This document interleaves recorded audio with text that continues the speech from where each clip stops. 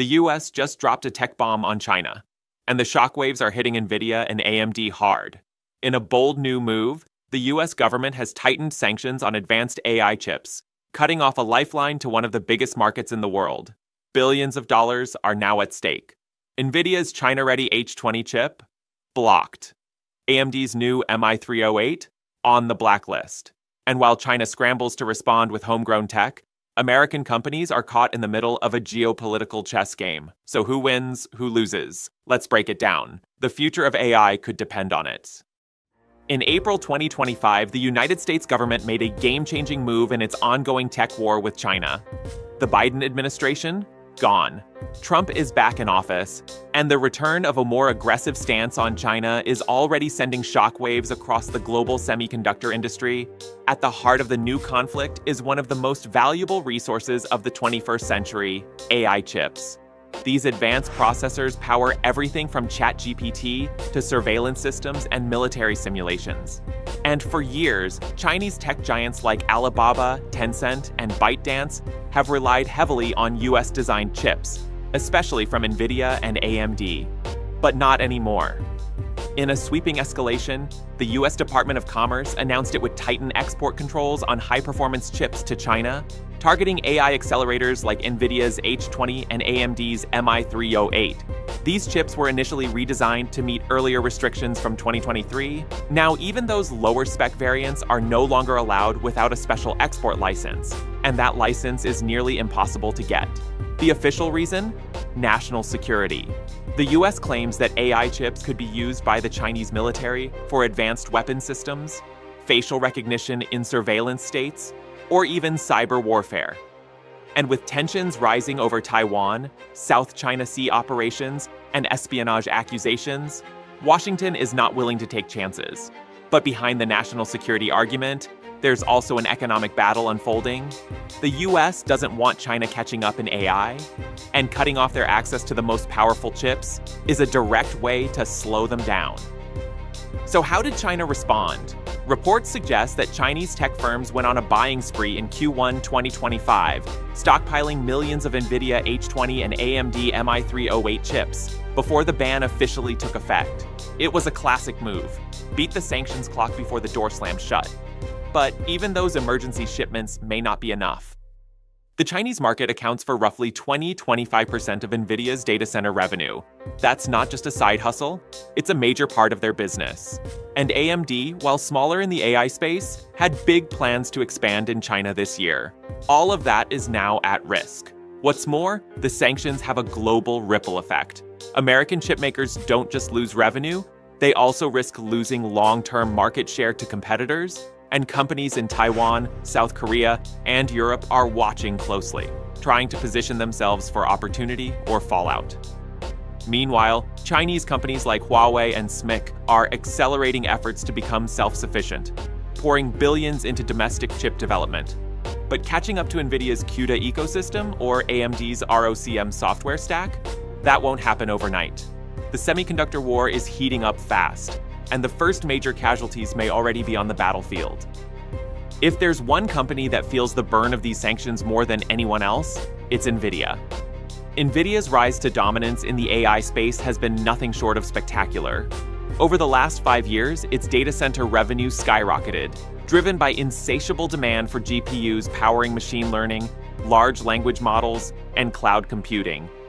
China played a huge role in that growth, but with the new sanctions, NVIDIA has lost access to one of its most critical export markets. And the timing couldn't be worse. To comply with the 2023 restrictions, NVIDIA had designed a line of sanctions friendly chips, like the H800 and H20, which offered limited performance compared to the flagship H100, but were still capable of running powerful AI models. These chips were created specifically for Chinese customers, a workaround that allowed NVIDIA to keep selling without breaking US rules. That loophole just got slammed shut. The latest sanctions ban even these downgraded chips unless NVIDIA receives a license, and experts agree that's unlikely to happen. The result? A potential loss of over $5.5 billion in projected sales to China this fiscal year. To put that into perspective, NVIDIA made just under $60 billion in revenue last year. So, yes, China matters. What's worse, the move threatens NVIDIA's long term position in the Chinese market. While companies like Alibaba, Baidu, and Tencent rush to buy H20 chips ahead of the restrictions, those stockpiles won't last forever. And once they're gone, Chinese firms will either turn to domestic alternatives like Huawei's Ascend chips or rebuild AI infrastructure around competing hardware and open source software. Both scenarios hurt NVIDIA. Adding to the challenge, NVIDIA can't simply reroute all that lost inventory to other markets. US.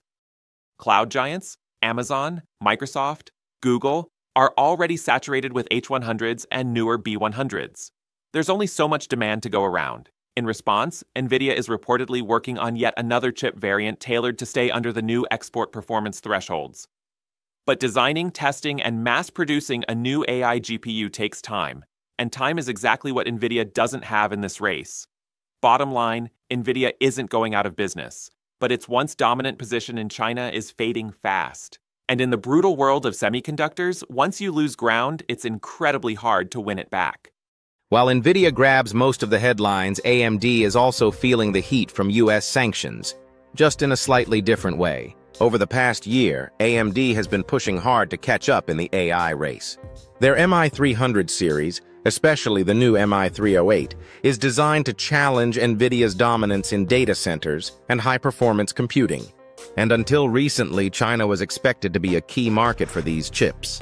But now, that door is closing fast. Just like NVIDIA's H20, AMD's MI308 has been caught in the crossfire of the new export rules.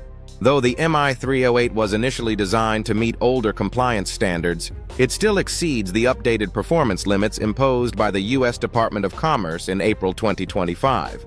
That means AMD is now blocked from shipping these chips to China without a special export license. Early estimates suggest AMD could lose up to 800 million in potential revenue this year because of the ban. That number might not sound catastrophic, especially compared to NVIDIA's multi-billion dollar exposure, but for AMD, it's significant. The company is still building its AI customer base, and China offered a fast growth opportunity. Losing access to that demand slows momentum at a critical time. What makes it even trickier for AMD is that its AI ecosystem, ROCm, is still playing catch-up with NVIDIA's CUDA platform. Convincing companies outside of China to switch to AMD GPUs is already a challenge. Without the Chinese market to help scale and prove performance, that challenge just got harder. Still, AMD isn't backing down. CEO Lisa Su has emphasized the company's long-term commitment to AI acceleration, and AMD is investing heavily in R&D, software support, and strategic partnerships. In fact, AMD just announced plans to open a new AI research hub in Singapore to support global deployment, a clear sign they're thinking beyond China. There's also speculation that AMD, like NVIDIA, is working on a sanctions-compliant GPU variant to regain limited access to Chinese customers. But again, time, cost, and uncertainty make this a tough play. In the meantime, AMD will focus on partnerships with U.S. cloud providers and enterprise customers. It's a safer market, but also a more competitive one, especially with NVIDIA's deep entrenchment. For AMD, the sanctions are more than a setback. They're a test. Can the underdog turn adversity into innovation? Or will the chip war freeze its AI ambitions before they fully ignite? The US may have tightened the screws, but China isn't sitting idle. Almost immediately after the latest sanctions were announced, Chinese tech companies ramped up efforts to reduce their dependence on US chips. And at the center of this push is Huawei. Once crushed under US sanctions in 2019, Huawei has made an astonishing comeback. In 2023, it shocked the world by releasing the Mate 60 Pro smartphone with a domestically produced 7nm chip, defying expectations and demonstrating real progress in chip making. Now in 2025, Huawei is bringing that same determination to AI. Their latest AI accelerator, the Ascend 910B, and now the rumored Ascend 9110D, is already being deployed in Chinese data centers. While not yet on par with NVIDIA's H100 in raw power or ecosystem maturity, these chips are good enough for many local applications. And most importantly, they're not subject to US control. But Huawei isn't alone. The Chinese government has poured billions into semiconductor subsidies. Fast-tracking efforts by companies like SMIC, Cambricon, and Biren Technology to build competitive domestic alternatives. Even though these firms still face limitations, like access to extreme ultraviolet lithography, EUV, they are finding creative ways to work around them. And the pressure to innovate just got more intense.